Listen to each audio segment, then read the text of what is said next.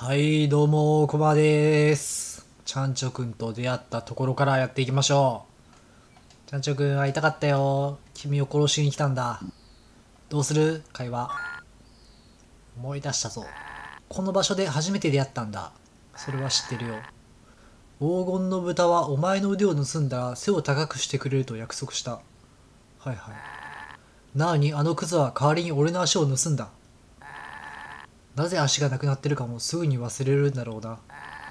そしてお前のことも忘れるんだ、レッド。お前を止められる奴はいないよ。今は全てはっきりしてるんだ。でもこんな世界で一人でいるなんて、何も覚えておくことができないなんて、全然いいことのようには思えない。何かもっと大きなことが起きているような気がする。もしかしたら、重要な目的があるとか。だからお前に伝えなきゃいけないことがある。ミッドナイトタウンへの扉を塞いだのは緑の魔法使いだ。あ、ミッドナイトタウン行けんくなってたもんね、そういえば。でも秘密の入り口がある。緑の魔法使いは秘密にしておけと俺に言ったんだ。大丈夫？よちゃんちゃん覚えてる？それ。忘れたとか言わんといてや。緑の魔法使いが俺にこの仕事をよこしたのは俺がそのうち入り口の場所を忘れるからだと思う。覚えてる？今覚えてる？そしたら何も場所がわからなくなるからな。お前のやることを信じてるからな、レッド。あ、あそこ、そこですか？ごめん、ちゃんじょうくん。僕殺すって決めてん。思い出したぞ。ああ。ちゃんじょうくん、さ、さっきそれ喋ったよ。さっきそれ喋ったってこと忘れてたな。はい。ごめん。ごめん、ちゃんちょくん。お前のことをまた覚えていただいて嬉しいよ。伝えたいことがあるなら聞いてくれるか？え、はい。知り合って結構経つが、お前は一言も発しなかったな。お前にひどいことをした時でさえ、お前は俺を助けてくれた。お前がいなきゃ黄金の豚の神殿にはたどり着けなかっただろうよ。お前はあのゲームでフランを助けたな。フランって誰やったっけ？後であいつは襲ってきたけど、緑の魔法使いが目を取り戻す手伝いもした。腕を取り戻、え、腕を、腕を取り戻したかったからってだけかもしれないが、どうだろうな。俺はもう準備ができたと思うよ。おー、死の覚悟してる。今までの行いによってさっきの会話も変わるんかな。ごめん。うわ抵抗しひんねや。ちょっと僕戦うことを想像してたんやけど。えー、悲しい。相棒。ちゃんちょもともと、そういう記憶障害というか、覚えることができひん生き物なんかな、ちゃんちょくんは。いやーラスタービーストさん、お久しぶりです。もう一人の仲間やな。これ以上先には行かせられない。前回お前に腕があった時は、多くの者が死んだんだ。前回っていうのはやっぱループものの世界なのかな。多くの者が死んだんだ。また誰かが死ぬっていうなら、ごめんラスタービーストさん、もう結構殺してきてる。黙って見過ごすわけにはいかない。いや、かっけえな、こいつは。なんかロールプレイングの世界ではそこそこ強かったイメージあるけど、現実世界でも強いんかな。うわ、かっけえ。はい。いやー、ちゃんちょくんは何やったんやろうな。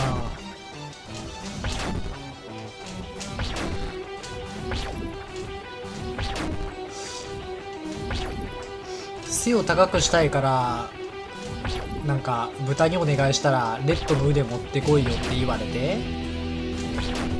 約束約束通りレッドの体バラバラにして腕持っていったら逆に足を奪われてしまったっていうチャンチョ君にとっては何一つうまくいってんよね。最終的にレッドに殺されるっていうなんか意味わからんことだってるしな。いやレッドは何考えてるんやろな本当に。うわー盛り上がってるね。うわあさあここから早いねんな。前回はお前はめっちゃ殺したとか言ったけど。ラスタビーストはどういう存在なんやろうな。この世界がそのなんかループものっていうのに気づいてるんかな結構これ真ん中安全地帯やね。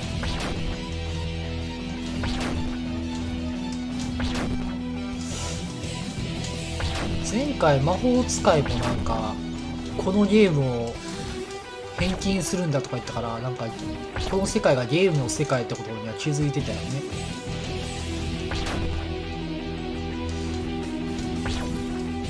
ういうこの世界がどういうもんか気づいてるやつらと気づいてへんやつらの違いがよくわからない盛り上がってきたね曲が。はい。なぜ逃げない？正直逃げるほどお前は強くないよ。結構ライフあんな。ちょっとそこに張りすぎてあんま敵のライフ見れてなかったけど。そこそこタフやんけ。はい。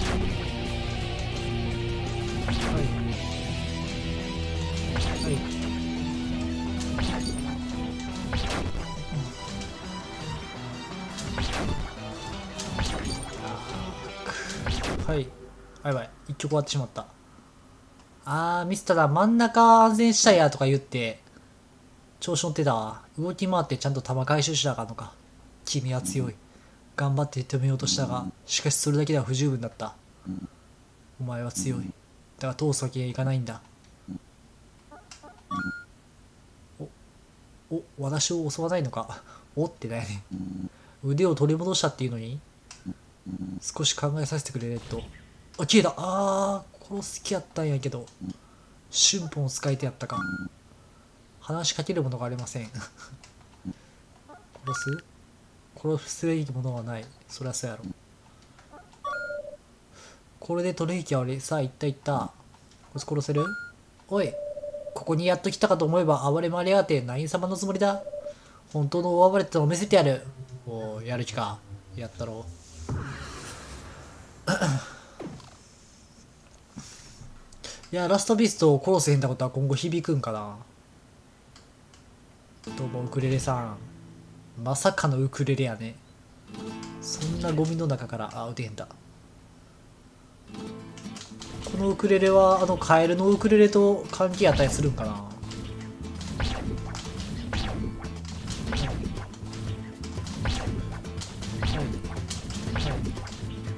曲が終わる前に倒さなあかんからテンポよく攻撃するのも大事やねんな。はいはいはい。はい。はい。はい。はい。はいこいつの中身って何やったっけ？まだ分からへんねやったっけ？はい。いいよ。は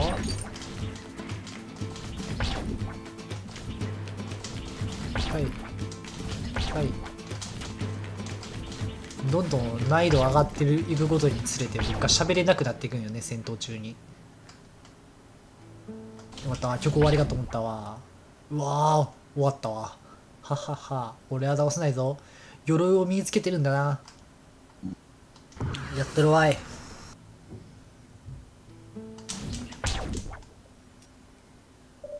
もうちょいやったんよな。あと一撃やったな。こいつめっちゃ強いんやけど。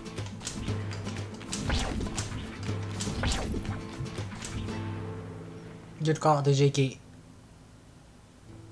はい。あー強かったこいつ。結構ギリギリや。余計な動き全然できんだ。うわー。このからも役に立たんな。君が相手じゃ。この時を長い間待ってたんだ。君も死を望んでた派か。えい。どうもお久しぶりです。そうこの鍵どういう意味があるんやろうね。厳重に鍵がかか、えー、厳重に鍵がかけられた箱。黄金の鍵を使う。おおそういえばこれも黄金の鍵で開くんか。何か強い力を持つ者が黄金の鍵と共鳴しているようだ。はい。え？裏ボスか？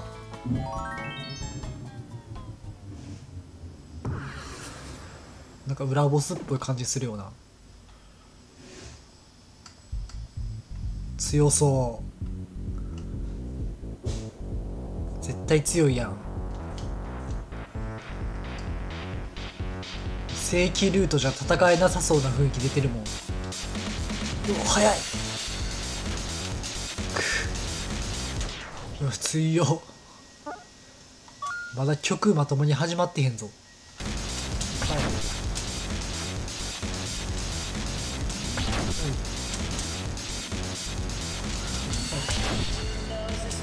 おボーカル。まさかのボーカル。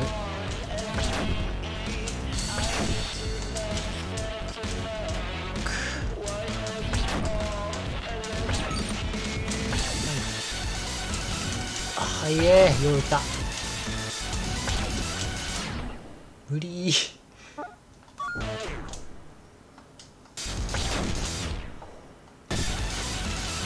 あいけん。く激しい。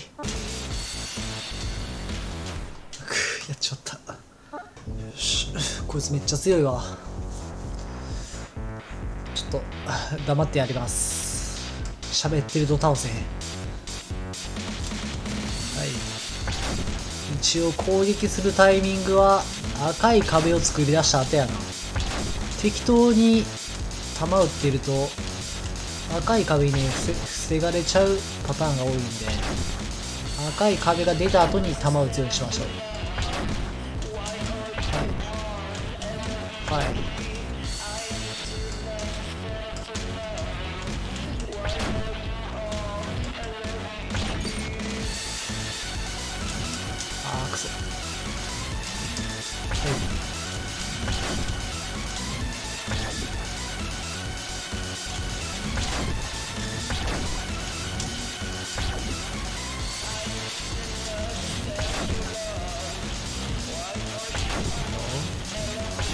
あつ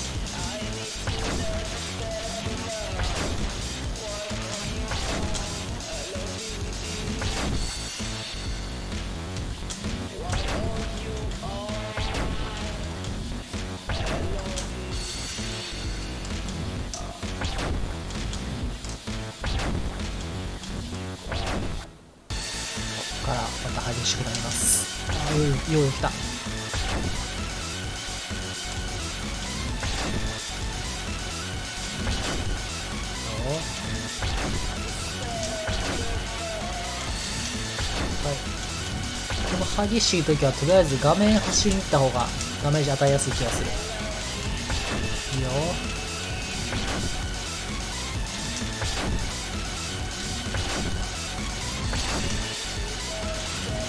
いあー怖ここまで生き延びたの初めてかもしれんな。あー怖い。うわ。激しい激しい激しい。よう避けてるわ。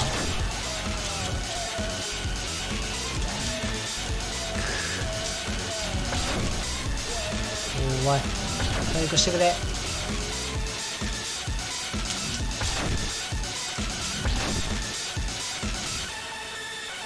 やばい終わりそう終わりそう。そこそこ体力残ってんな。おおついに私は枷から解き放たれた。すぐ会えることを願っている。さらばだこの悲惨な世界を。さよなら。倒したらあの緑のルビーもらえたんかな。めっちゃ強かった。わ避けるだけやったら多分そんなんやけど攻撃意識したらもっと難しいやろうな。力と魂は結合し時として神々の果実と呼ばれるものになる。世界には様々な宝石が存在する。多くはすでにその存在が知られているがまだ見つかっていないものも多いだろう。宝石の持つ力を真に引き出すには宝石を使用者の肉体と魂とに結合させる必要がある。そしてそれは結界の宝石と呼ばれる。宝石との結合を行う場合には注意が必要となる。完全に結合した時自我というものを根底から変えてしまう傾向があるからだ。それは本質的に自然に反することである。融合の過程が大きな苦痛を伴うということはよく知られている。宝石が結界の宝石となるためには五感のうちの最低でも一つを置き換えねばならない。なんかそんな話もあったよな。黄金の豚のところで読んだ紙にもそんなん書いてあった気するけど。視覚聴覚触覚嗅覚味覚宝石が真に力を発揮するためには少なくともその一つを犠牲にする必要があるのだ。レッドのことなんかな。喋れへんのはその感覚の一つを失ってるからなんかな。どうもへえそれが宝箱の中身か。これにはみんな驚くだろうね。えあの神が。あの神見てみんな驚くの？そうとは思うへんけどな。揉め事を起こすつもりなのかい？この店では揉め事はなしだ。あ戦うんや。意外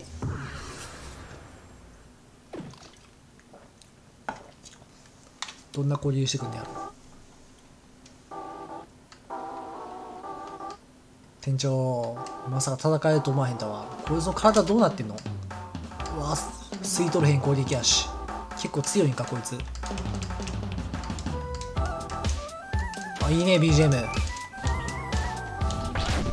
やっぱこいつめっちゃやらしいやん。吸収できる弾めっちゃ少ない。あのオレンジの弾までいかなあかんか。ーしかもしっかり防いでくるし。はい。うわカラフル。こいつこんな強キャラやったんか。いいね音楽が。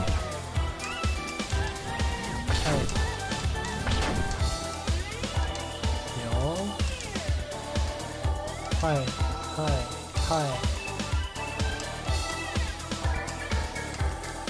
全然攻撃させてくれへん。ま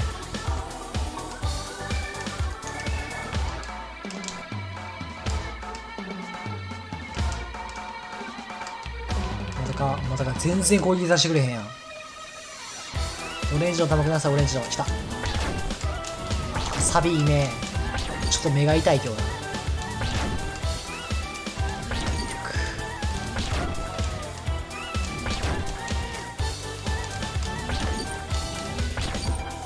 ね壁も多いし普通に防がれんねんけど。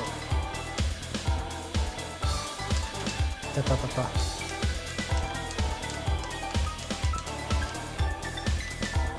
なんか顔すごい当てへん？オッケー。うわ背景も凝ってんな。こいつなんでこんな凝ってんの？そんなストーリー的にも絡んでこうへんの人やん全然攻撃の弾こうへんし。か終わろうとしてへん曲。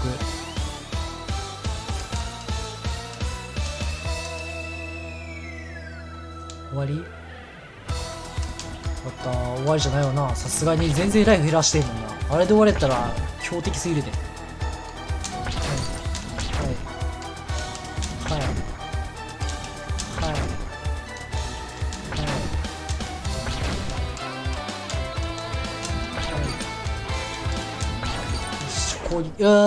攻撃説が増えきた増えてきたと思ったら油断した。最初から。こいつは長いぞ。もうちょいか。いやーなかなか手こずったよ。はい。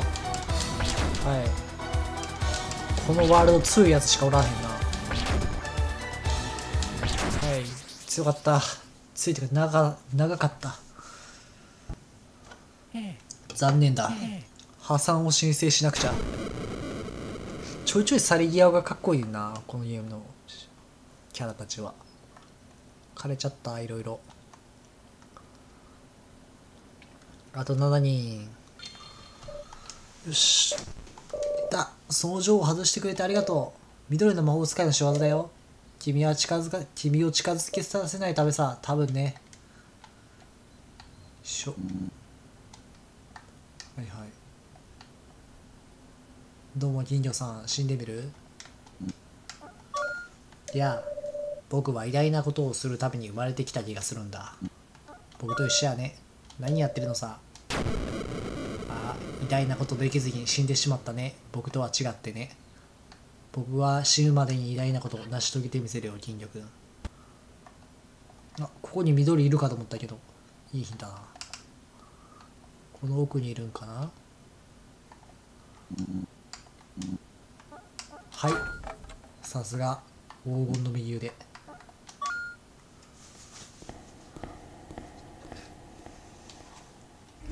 緑の魔法使いさんよ。この奥にいるんだろう。どうも。やあレッド私の地下室に押し入ってくるとは少し驚いたよ。だがまあ驚くべきではないのかもな。さて何が望みなんだ？私が君だったらそこには入らないな。その通路は終わりがないんだよ。いやまあ厳密に言えば終わりがなくはないんだが終わりはあるんだ。ただそこに着くまで永久にかかるというだけ。それは知ってるさ。だって私がその通路を作ったんだからね。えじゃあ右行かん方がいいってこと？まあ永久に続くんやろうな。なんかフラグ立てな。あよかった帰れた。これが私の遊戯室だ。あるいはそうだったと言うべきか。ずいぶん前のことだからな。少し散らかったようだ。私は行き場はないように感じてたんだよ。私の人生の中でも誇らしい部分とは言えんな。年が過ぎるたびああやって走り書きを残したんだ。こういうバカみたいな記録をつけたがるのは普通茶色の魔法使いなんだが。永遠に年を記録しても無意味だろうと言ったんだね。この壁はやっぱ日にちのことなんかな。この壁の落書き文こいつは生きてるってことなんかな。だから無視したあいつに代わり私がやることに決めたというわけだ。だからどれだけ労力を費やしたのか想像もできないな。やっぱ無限に生きてるんかな。でこれだけか？これで終わりなのか？キノコの森で永遠と時間を費やしたってのに？なんて期待外れなんだ。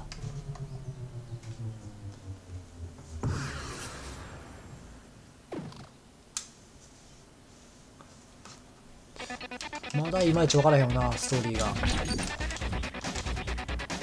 はい。なんかここで魔法使い殺してしまうのもな全然あはいはい。本気か？はい本気です。聞いてくれ。はい聞いてやろう。お。真の命をせめぎ合いを求めるというのなら今のままでは物足りないな。私の遊戯室に来るといいゲームスタートってことね。また TRPG するんい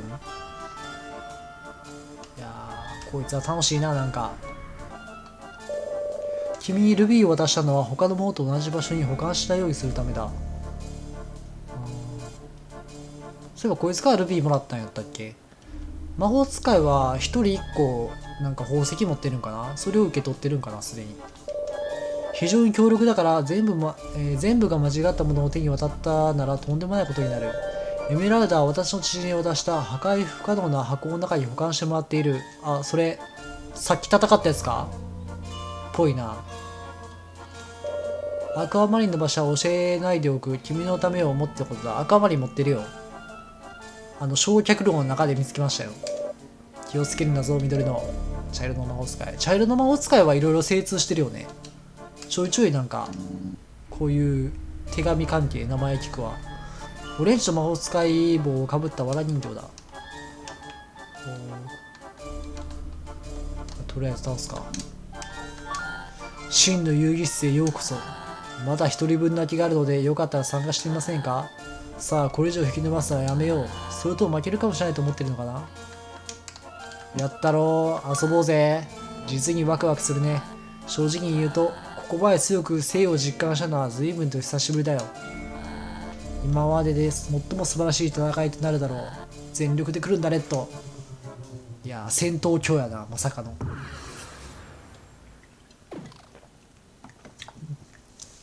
永遠に生きてるかおびっくりした。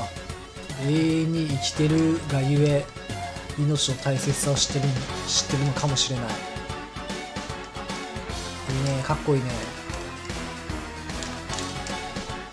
今の虹色のやつは吸い取れるか？これ吸い取れるなあつつつつ。かっこいい。わ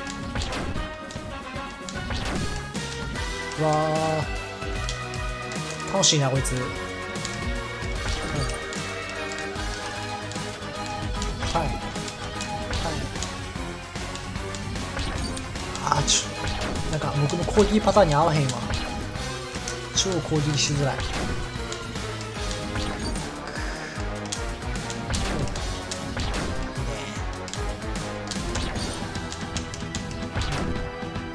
ず開けていこうぜ。こいつも強いな。ミッドナイトシティのやつら全員強いねんけど。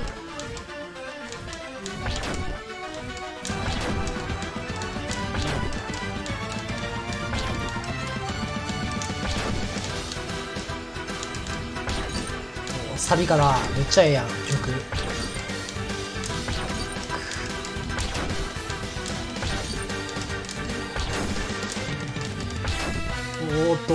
知らん攻撃来た。こんな電撃攻撃初めてやん。当たらないんですけどね。この斜め攻撃めっちゃやらしいねんけど。はい。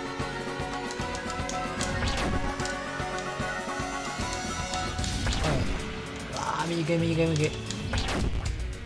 見にくいんですけど攻撃を当ててしまうんだよな。スイートレ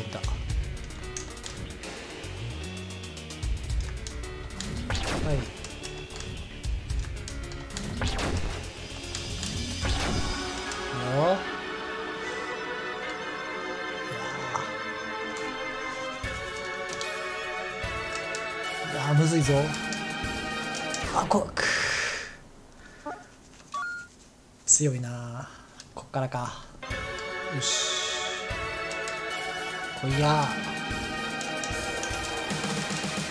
サビきた。サビじゃないか。はい。よ。焦ってきてるんじゃないのか。ほほほほ。第2ラウンドへ行こう。ちょうどライフ半分削ったところで。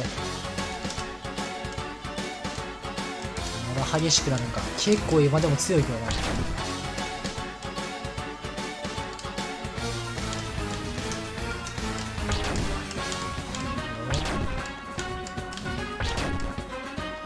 第2ラウンド入ってからこれ1曲ループした第2ラウンドってそういうことね。たたたたまずいぞ。回復させてください。たたたたた。死にたくない。さ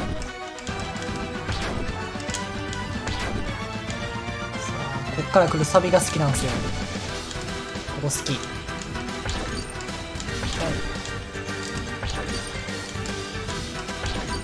壁がうぜえ。いよ通った。あともうちょいだや単価曲終わらんといてくれよ。いいね。この鍋めっちゃ吸い取りにくいんだ